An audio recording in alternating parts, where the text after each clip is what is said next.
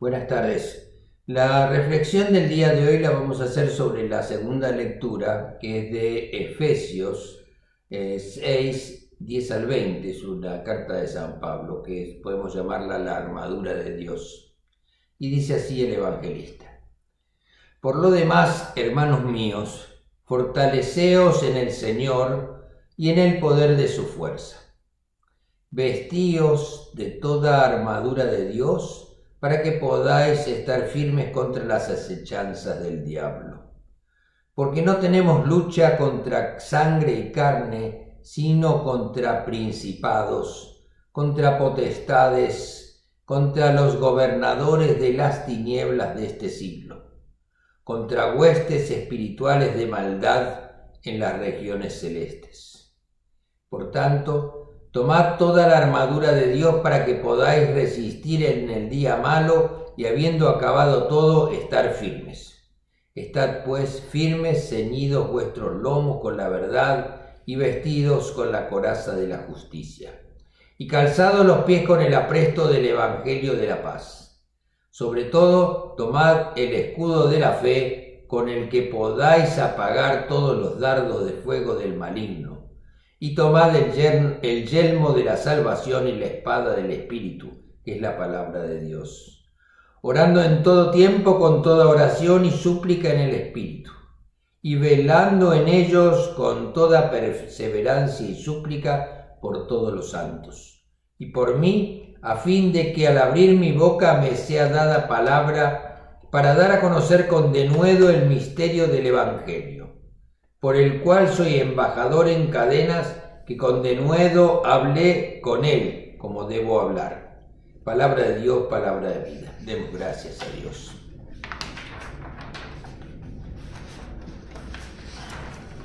Una y otra vez Jesús invita al mundo a cambiar.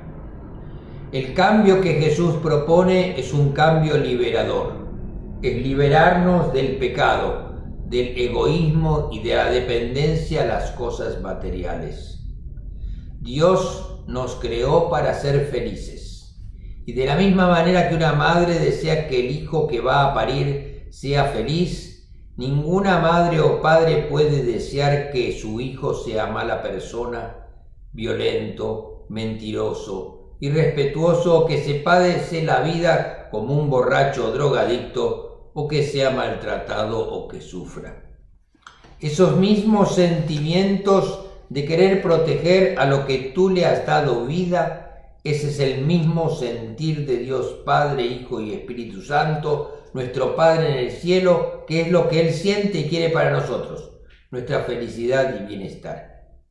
Pero el enemigo de Dios y por consiguiente nuestro enemigo, el mal, el demonio, desde siempre quiere nuestra desdicha, no solo para hacernos mal a nosotros, sino para lastimar a Dios. De la misma manera que el sufrimiento y el dolor de cualquier hijo desgarra el corazón de su madre, el demonio desde siempre, desde el mismo momento de la creación del hombre y la mujer, ha estado al acecho para hacernos caer y así perder el apoyo de Dios nuestro Creador. El primer logro del mal fue que nuestros padres Adán y Eva desobedecieran a Dios y como consecuencia de eso fuimos expulsados del paraíso.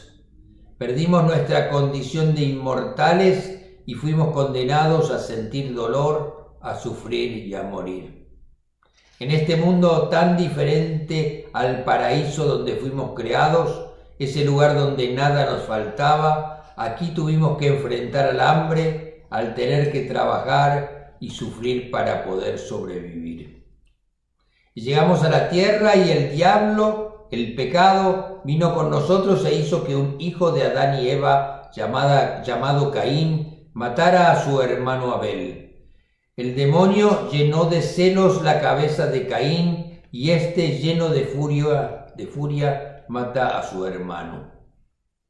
Y esta situación se repite a lo largo de la historia de la humanidad.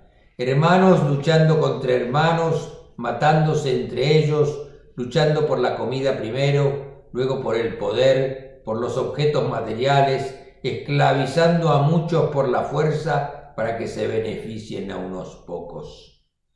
El diablo y todos sus ejércitos de maldad, gobernante de la tiniebla, en ningún momento ha dejado de tratar de alejar a la humanidad lo más posible de Dios.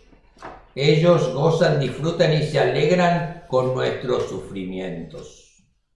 La Biblia nos enseña que debemos, que necesitamos protección en nuestra vida para protegernos de los planes malévolos de Satanás. Igual que los soldados que van a la guerra, debemos estar equipados, preparados para la batalla que debemos enfrentar. Ese equipo es lo que San Pablo lo llama la armadura de Dios. Y este equipo tiene el cinturón de la verdad. Satanás, que es el padre de las mentiras, nunca podrá ganar si nunca olvidamos la verdad de que Jesucristo es el Señor. La curaza de la justicia que protege nuestro corazón cuando éste es justo. Satanás no podrá hacernos daño cuando hacemos lo que Dios dice que es correcto. Calzados con la voluntad de proclamar el Evangelio de la paz, Satanás trata de crear preocupación y confusión en nuestras vidas. Pero Jesús, el que sabe todo, trae paz. También llevaremos el escudo de la fe en Jesús, que rechazará las dudas que el demonio tratará de sembrar en nosotros. Y con el casco de la salvación, sabiendo que Jesús nos ha regalado la salvación, con la espada, con la espada del Espíritu, que es la palabra de Dios, que es la Biblia, ganaremos la batalla en contra del mal.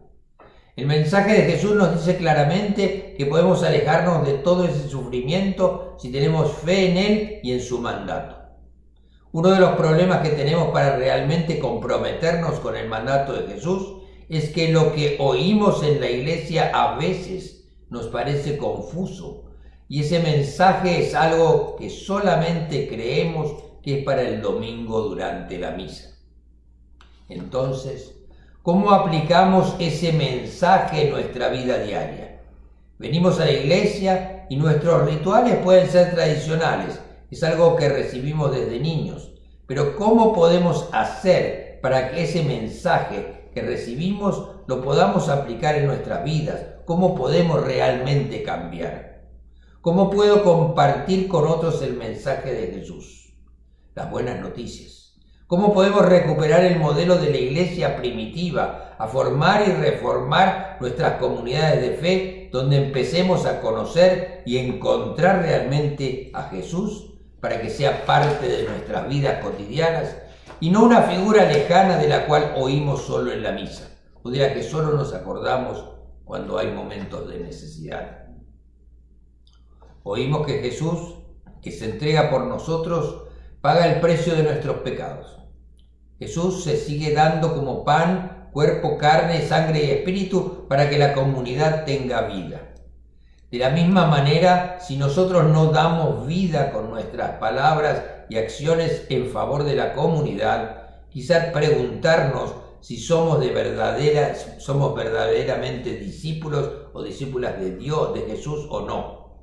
Decimos que somos cristianos y usamos el nombre de Jesús, pero no ayudamos a los pobres, a los hambrientos, a los inmigrantes y a los rechazados, a los maltratados, a los despreciados de la sociedad.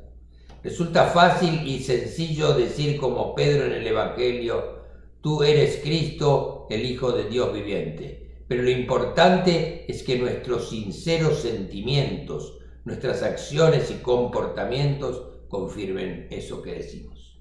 Amén. Que Dios los bendiga en nombre del Padre, del Hijo y Espíritu Santo. Que tengan una buena semana.